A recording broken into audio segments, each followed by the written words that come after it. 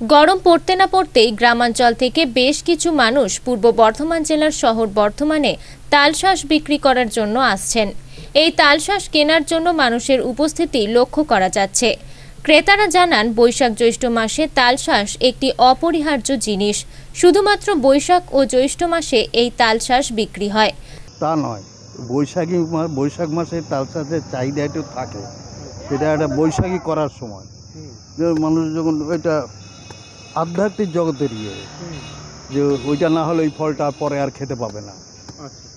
এরকম একটা ব্যাপার আছে। তাছাড়াও যারা খায় না ওই প্রথম জ্যৈষ্ঠী মাস বৈশাখ মাস যতক্ষণ থাকে ততক্ষণ নরম থাকে ততক্ষণ খায়। এসব কোনো ব্যাপার পেট ঠান্ডা হয় না এটা মুখের স্বাদে খাওয়া।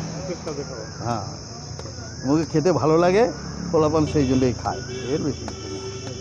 ক্রেতারা জানান তালশাঁস শরীরকে ঠান্ডা রাখে। বিক্রেতারা জানান তালশাঁসের বাজার ভালো থাকে বলে প্রতি বছর এই সময় তারা গ্রামাঞ্চল থেকে তালশাঁস বিক্রির জন্য নিয়ে আসে। আমরা গঞ্জ। হ্যাঁ? গঞ্জ থেকে আসছি। এখানে কি বিক্রি করছ? এই তো তাল শাঁস তাল শাঁস বিক্রি করছি। কীরকম মানে বাজার কীরকম? বাজার মোটামুটি। কদিন ধরে আসছো তোমরা? আজকে নতুন এসছি। আজকে নতুন এসছো? আর এই গরমকালে কি এটা চাহিদাটা কি থাকে?